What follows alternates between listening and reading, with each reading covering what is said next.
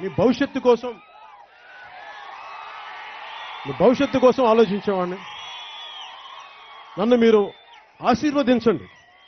మీ తరపున పోరాటం చేయడానికి నన్ను ఆశీర్వదించండి. బలం ఇవ్వండి ఊతం ఇవ్వండి మద్దతు ఇవ్వండి.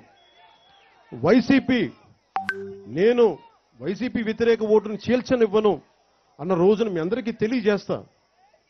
నేను దొంగచాటుకు నేను పనులు చేయను నేను నేను చేస్తే చెప్తా మీకు. అసలు నాకు భయాలు లేవు. ఎవరితో గురించి నా భయాలు లేవు. అన్ని జాతీయ స్థాయి నాయకులకి చెప్తాం. ఇంత అప్పులు పాలైంది. శాంతి భద్రతల సమస్య ఇలా ఉంది.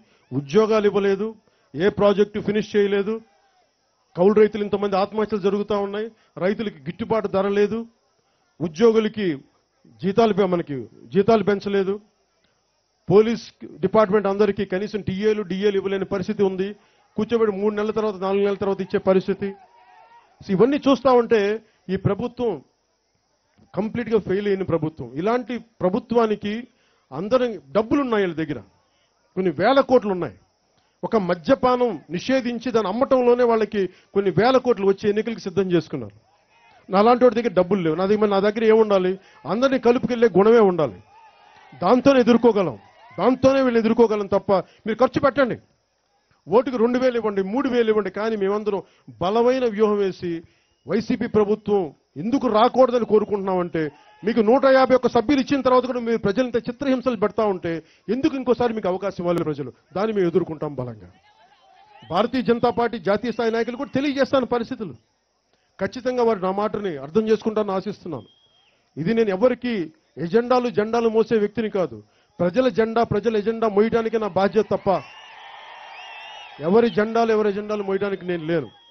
ఒకసారి వ్యూహం వేసేటప్పుడు ఓటు చీలిపోయింది అనుకుంది వచ్చే ఎన్నికలకి. ఓటు చీలిపోతే మళ్ళీ వీళ్ళే వస్తారు మళ్ళీ మళ్ళీ వీళ్ళు వచ్చి మళ్ళీ మనల్ని హింసిస్తారు. ఈసారి అది జరగకూడదు. ఒక బలమైన తప్పు జరిగింది రెండు వేల పంతొమ్మిదిలో. ఇంకోసారి తప్పు జరగకూడదు. దానికి అందరూ ఒక దిశానిర్దేశం ప్రజలందరూ కూర్చొని చేస్తే ఈ దిశగా మీరు అందరూ ఆలోచిస్తే దానికి ఇంకా సమయం ఉంది. అలాంటి పరిస్థితి వచ్చిన రోజు మీ అందరికి తెలియజేస్తాను. మీ అందరి సమ్మతి మీ అందరి మద్దతు ఉంటేనే ముందుకెళ్తాను. మీరందరూ ఆపేస్తారని ఖచ్చితంగా నేను ముందుకు తీసుకెళ్తానా లేదని అప్పుడు చెప్తాను మీకు. మీ అందరి ఆశీర్వాదం కావాలి ఇలాంటి వాటికి. నాకు ఏ పార్టీ మీద వ్యక్తిగత ఆపేక్ష లేదు. నాకు ఉన్నదల్లా ప్రజలు బాగుండాలి ఉద్యోగాలు రావాలి ఆడబిడ్డలు క్షేమంగా ఉండాలి రైతాంగం కన్నీరు పెట్టకూడదు అభివృద్ధి పదంగా అప్పులు తీర్చేయాలి. ఈ విధంగా మేము ఆలోచిస్తున్నాం.